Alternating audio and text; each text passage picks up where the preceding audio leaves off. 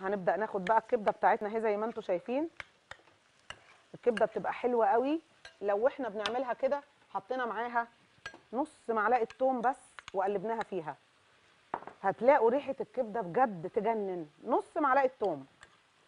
ولو في ليمون كمان تبقى حلوة جدا. نص ليمونة برضه هتظبط معاكم جدا. ولكن الأكلة بتاعتنا النهارده إحنا بنعمل زي ما هو على العربية بالظبط في الشارع. ومعانا نسمة من الجيزة معانا اتصال نقول ألو؟ أيوه يا نسمة.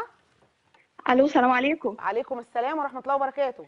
أستاذتنا ازي حضرتك؟ حبيبتي يا نسمة تسلمي لي يا رب. نورتيني منورانا منورانا يا. أستاذة فريدة ومشرفانا. تسلمي لي. وعايزة أقول لحضرتك دايما عاملة لي إحراج مع الولاد يعني. آه. دايما مدام فريدة شوفي طب حاجتها بجد ما شاء الله خاصة الحلويات. تسلمي لي تسلمي لي يا رب. حبيبتي يا نسمة.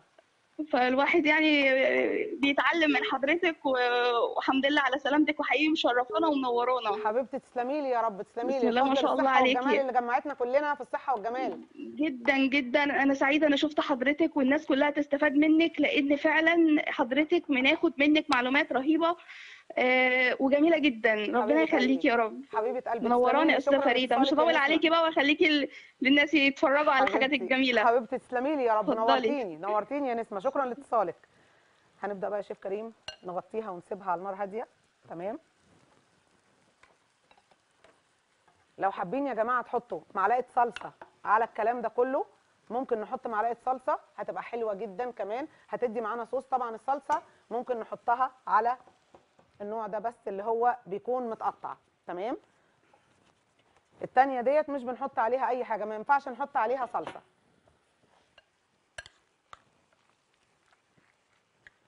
هنستنى بس لما تبدأ تستوي شوية وهنديها معلقة من الصلصة. نبدأ بقى نعمل الكبدة بتاعتنا. هناخد طاسة جديدة بقى يا شيف كريم. طاسة جديدة. نبدأ نشوف هنعمل إيه. زي ما أنتم شايفين كده الألوان الحلوة قوي ديت. بجد حلوة قوي. أنا هبدأ بقى في الكبدة. الشيف كريم هيقطع لنا شوية فلفل أخضر ما يكونش حامي. كفاية فلفل حراق كده. لو ان دي بتحب الحراق بس okay بس كفاية كده. كفاية لحد. كده. آه. طيب هنبدأ بقى. إحنا هنا هنبدأ نشيل ديت معانا. هناخد هنا. وهنبدأ نشيل دي عشان نبدأ في حاجة جديدة خالص. شوية كده. نبدأ نخليها هنا. عشان دي كده خلاص جاهزة.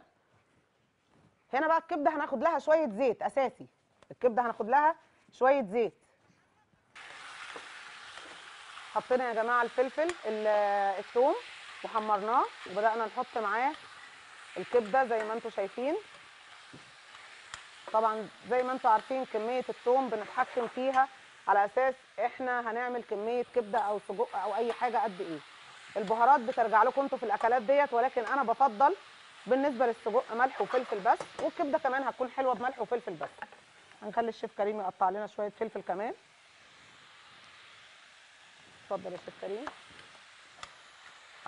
طبعا يا جماعة الأكلة ديت حلوة جدا جدا. وانتوا عارفين إن الولاد بيستسهلوا جدا أكل السندوتشات وحتى لو من غير سندوتشات ممكن تتاكل مع مكرونة بالصلصة هتبقى كمان حلوة جدا جدا. إحنا هنا زي ما اتفقنا الكبدة بنحط لها ملح وفلفل مش هنحط لها أي حاجة تاني هتبقى حلوة جدا كمان. شكرا يا شيف كريم. ناخد بقى الفلفل يا شيف كريم.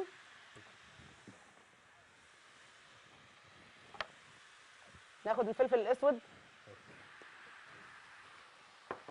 زي ما أنتم شايفين يا جماعة بنبدأ نخليها تدبل بقى ولونها كله يتغير. طبعا الملح بيخليها تدبل معانا أسرع. أنا حطيت لها شوية زيت صغيرين جدا نسبة زيت قليلة جدا.